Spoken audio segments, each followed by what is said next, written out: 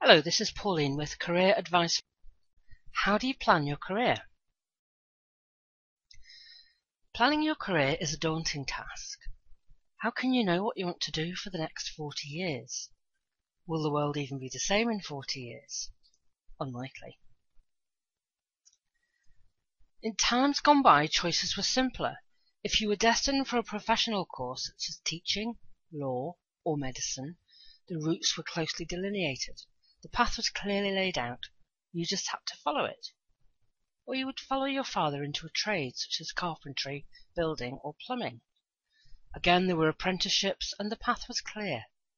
Or if you were a clerical or manual worker, again not a lot of career planning involved. In today's world, though, life is much more complex.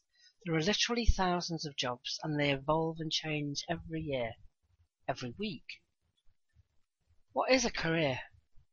So what are we trying to identify, plan and control? And why?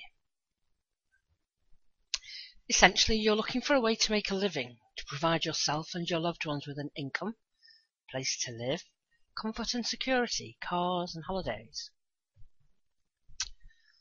But there is something else too. How we earn our living means more than that. It is how we define ourselves, how we spend a large percentage of our lives. It's part of our sense of self, and also how we're going to spend a huge proportion of our lives. And after all the work you've put into your degree, you want to find a great job that allows you to employ your knowledge, and you want to be financially independent. How can you get it right? And what if you get it wrong? How can you possibly know now, at the start of your career when you're young and inexperienced, what will fulfill all those objectives for you for the next 40 years? The short answer is you can't, and you don't need to, so relax.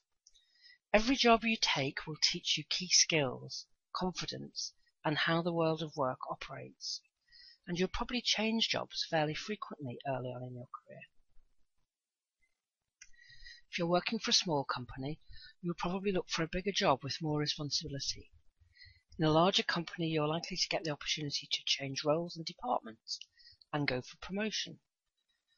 Most people will have several careers, possibly leading naturally into each other, but sometimes there will be a complete change of direction.